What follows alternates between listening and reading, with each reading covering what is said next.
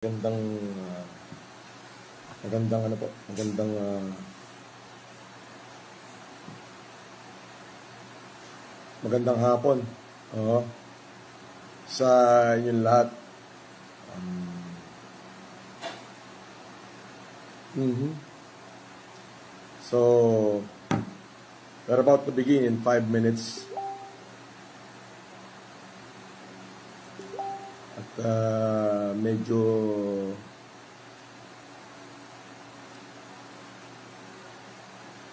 Okay. So, pakishare ho yung ating live sa ating mga pamilya para malaman ho itong ating announcement. Uh, kung makikita nyo, tayo po ay inilabas na sa GMA. GMA News uh, ngayon ngayon lang. Apo, at uh,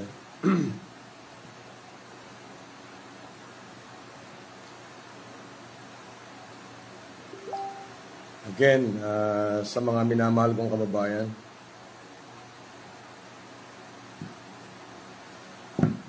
um,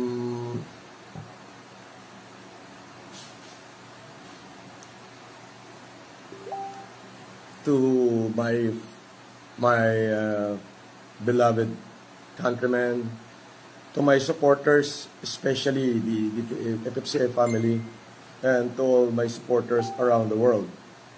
Um, it is an announcement that uh, today I uh, stand uh, before you um, to all my fellow Filipinos. Uh, I stand before you with a heart full of gratitude um, and a renewed sense of purpose. After careful consideration and reflection, I have decided to accept the nomination to participate in the senatorial races. During my birthday, when I first announced that I would not be running for election, it was a decision rooted in my desire to focus on another priorities. However, over the past few weeks, I have been deeply moved by the overwhelming support and encouragement I have received from countless individuals and uh, countless supporter in every corners of the continent or in every corners of the country.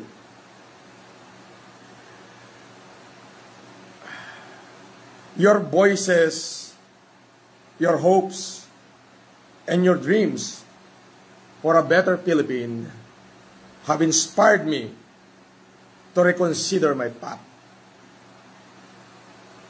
I have listened to your concerns and shared your aspiration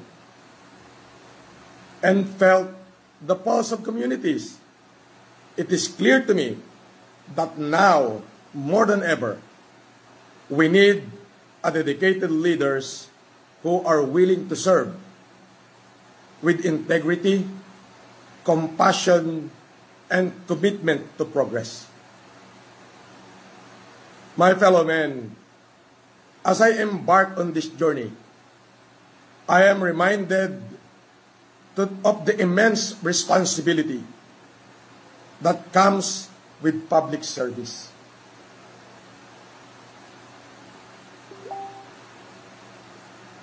I pledge to listen to your needs, advocate your rights, and work tirelessly to create a brighter future for all Filipinos.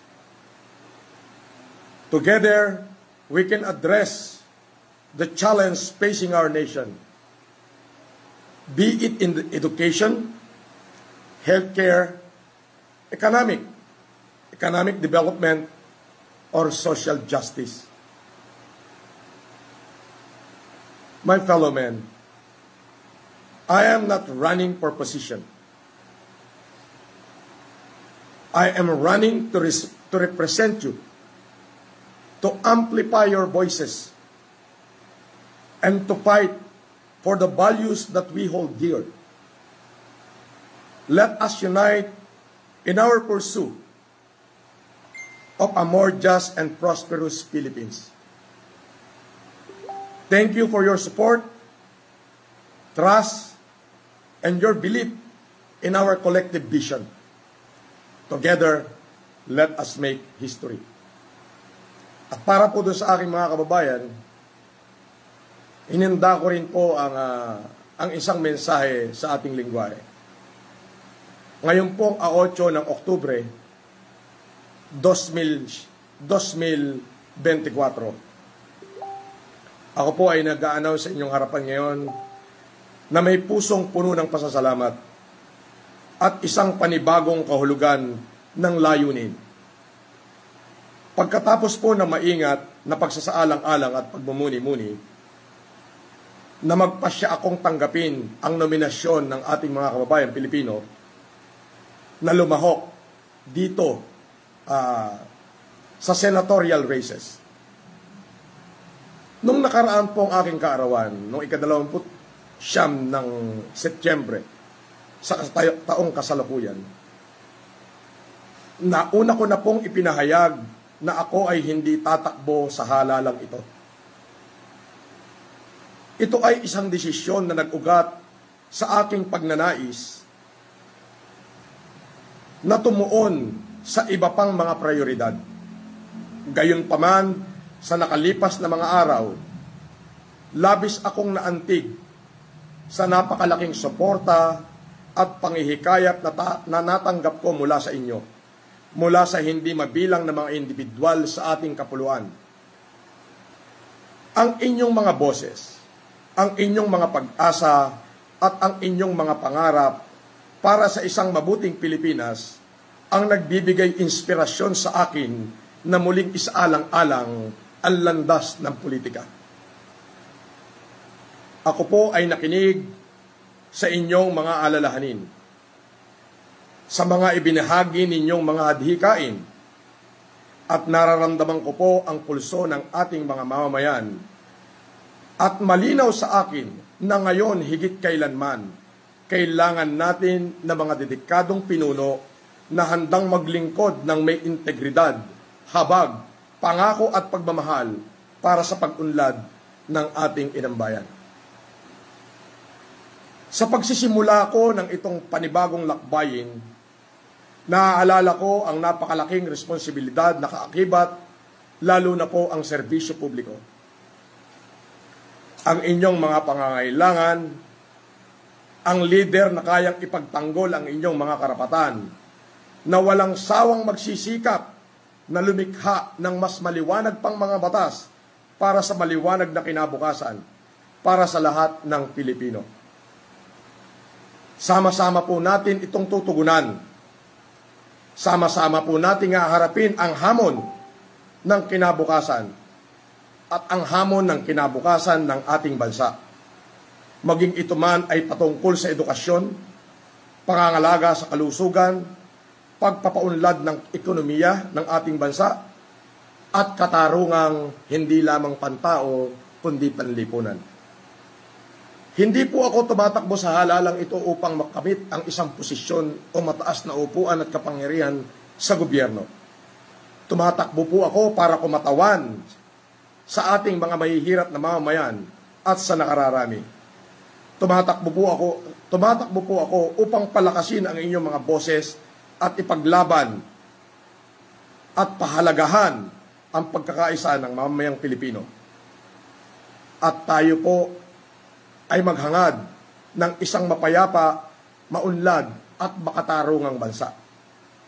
Salamat po sa inyong suporta, sa inyong tiwala at paniniwala sa ating sama-samang pananaw, sama-sama tayong gumawa ng bagong kasaysayan. Maraming salamat po. Francis Leo Marcos po, I will be a senator of the people and the people alone. Magandang araw po at maraming salamat. Formal ko pong ipinapahayag ang aking pagtakbo bilang kandidato ng pagkasenador sa ating bansang Pilipinas. Para po sa kaalaman ng lahat, ito na po ang aking COC na ipail po kanina ng ating mga abogado at ng mga sama-samang alkalde na nagtulong-tulong upang ako po ay makumbinsi nila para makilahok dito sa panlipunang adhikain ang magkaroon ng mga dedikadong liderato, dedikadong pinuno ng ating bansa. Uulitin ko po, I will be I will not be a senator of a party, but I will be a senator of the people and the people alone. Kaya ipanalangin po nila na huwag tayong manalo sapagkat pag nanalo po tayo, mga buwakang ina nila, bilang na mga araw nila. Maraming salamat po. Mabuhay po kayong lahat at magandang araw po sa inyo.